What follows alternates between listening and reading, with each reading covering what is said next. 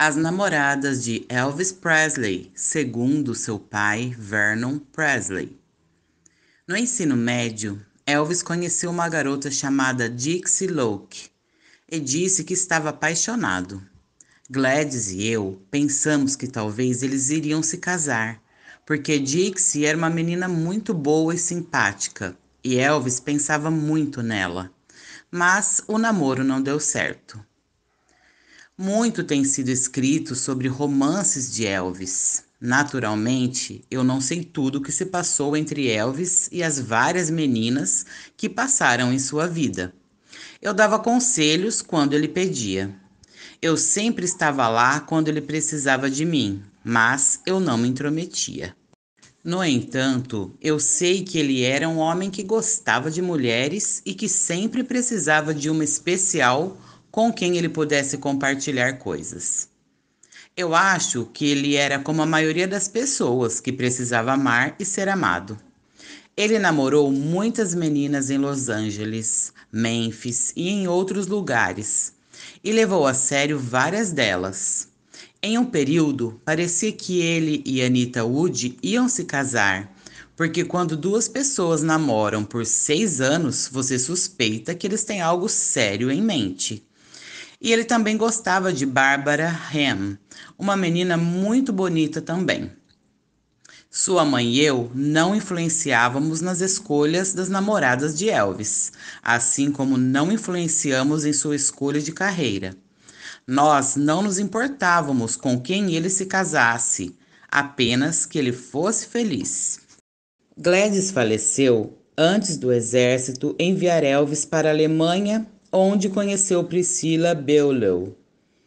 Eu me casei novamente quando meu filho convidou Priscila para vir a Memphis para terminar o ensino médio.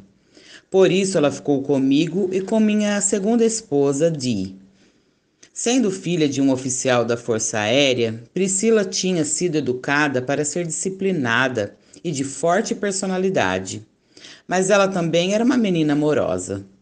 Eu acredito que o casamento de Elvis com ela não deu certo porque ele percebeu que após o casamento ele realmente não queria se casar.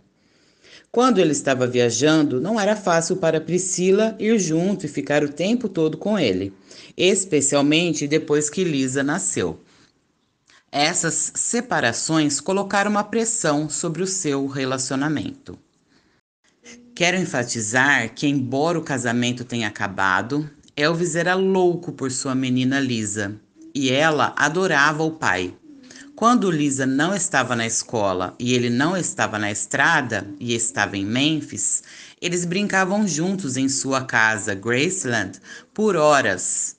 Um monte de pessoas tem perguntado sobre as meninas que compartilharam os anos finais da vida de Elvis. De todas elas, acho que Linda Thompson foi a melhor para ele. Ela estava sempre com ele, cuidando dele, embora eu não saiba o motivo deles se separarem. Pode ter sido que uma das razões Elvis sentiu que seu amor estava começando a sufocá-lo. Sheila Ryan era outra menina. Eu não sei por que ela deixou de ver Elvis e começou a sair com outro. Eu fiquei surpreso quando ela se casou com outra pessoa. Nunca cheguei a saber muito bem sobre Ginger Alden. Ela não era de falar muito, mas algum tempo atrás Elvis me disse que tinha se apaixonado por ela. Este é o amor que eu estive procurando, disse ele. Eu quero mais filhos, eu quero Ginger para ser a mãe dos meus filhos. Depois disso, Ginger e Elvis vieram me mostrar o anel de noivado. Essa foi uma das poucas vezes que eu ouvi sorrindo. Presumi que eles iam se casar, mas não aconteceu nada. E sempre que eu tentava falar com Elvis sobre Ginger, ele parecia chateado. Finalmente, apenas um ou dois dias antes dele morrer, eu lhe disse: Eu continuo ouvindo e lendo que você vai anunciar o seu noivado, está certo? Quando você vai se casar? Só Deus sabe, disse Elvis. Eu tenho um sentimento. Eu acho que talvez ele estivesse mudando de ideia sobre o casamento. O fato de que nem a Priscila nem Ginger foram mencionadas no testamento de Elvis. Quero salientar que Ginger já tinha obtido a sua cota de presentes de Elvis. Quanto a Priscila, ela não esperava ser mencionada, porque Elvis tinha feito a sua negociação com ela quando eles se divorciaram. As histórias têm deturpado os detalhes da vida privada de Elvis em todos os sentidos possíveis.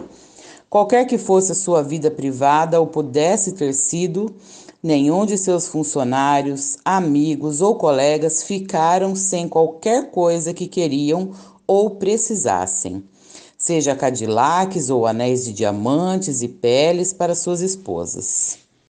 Elvis presenteava generosamente porque era de sua natureza ser generoso. Ele queria dividir sua fortuna com todo mundo que estava perto dele. Essa foi uma entrevista que Vernon Presley deu em janeiro de 1978.